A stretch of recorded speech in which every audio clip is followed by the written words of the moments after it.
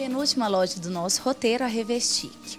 E aqui a gente encontra tudo para papel de parede, tecidos, pisos. Mostra pra gente quais são as novidades agora em papel de parede. A tendência é, é, esse estilo de papel, bem colorido, com cores bem vibrantes, bem fortes, que eu particularmente adoro, utilizo sempre nos meus ambientes, com temas de animais, com passarinhos.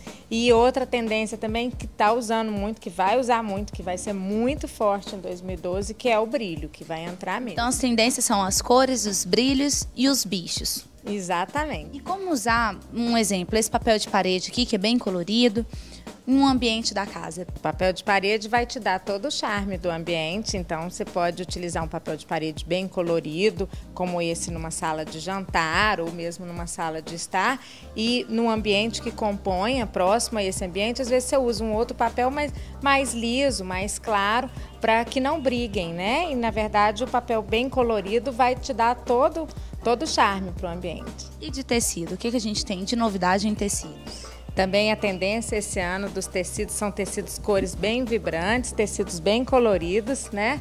Aí a gente vai estar tá usando muita seda, muito, muito cetim, muito colorido. Chegamos aqui na parte dos pisos.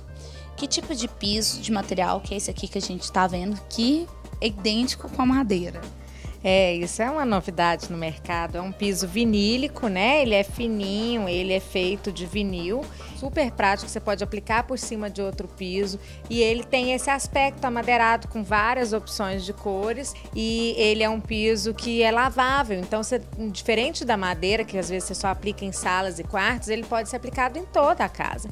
E ele tem uma outra vantagem que a madeira também não tem, que é o conforto térmico e acústico. Outro diferencial da Revestique é a questão das persianas, que aqui a gente encontra uma infinidade, vários modelos, tamanhos, cores.